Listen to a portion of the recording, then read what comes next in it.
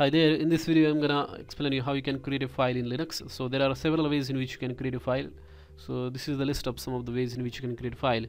So first is cat and then uh, file name. Say for example cat and then name of the file say xyz or say f10 and then here you have to type the name uh, the contents of the file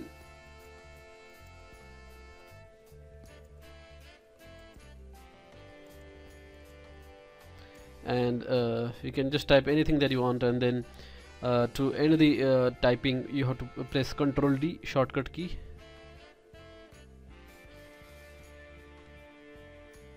And as you can see the file f10 is created. So to list down the contents of that file what you have to do is you have to press cat f10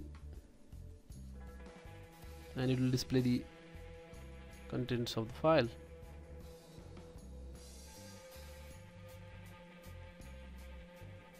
so you can also uh, view the contents uh, by uh, this command. Less f10 like that. Or more f10 like that.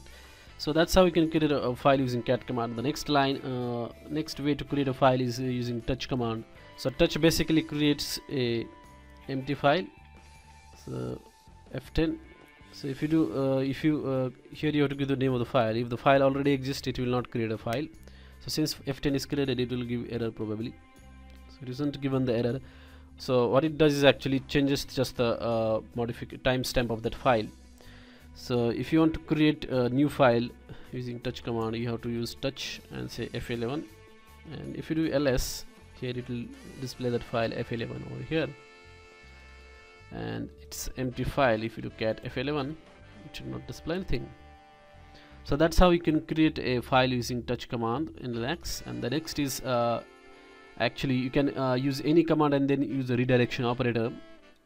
Like for example if you use uh, the command called as say calendar which displays the calendar. And if you want to create file out of that you have to just do the redirection operator and then give the file name say calendar file. And if you uh, view the contents of the cal file as you can see the output of that command calendar is uh, sent to the file calendar file. So that's how you can create a file from uh, output of any command. Just use this operator. So you can use any command and then use this operator and then give the name of the file. After that uh, you can use the nano. These are the editors default editors that come with the any linux distribution like vi and nano. So you can create the files using the vi as well or nano as well. So to create a file just uh, give the file uh, nano give the command and then name of the file say nano file uh, nano file. Hit enter and then it will launch the nano editor. Here you can enter anything that you want. Say nano file created. And after that uh, you can write the contents using control O key then give the name of the file hit enter and then to exit you have to press control X. And if you display the contents of the this file now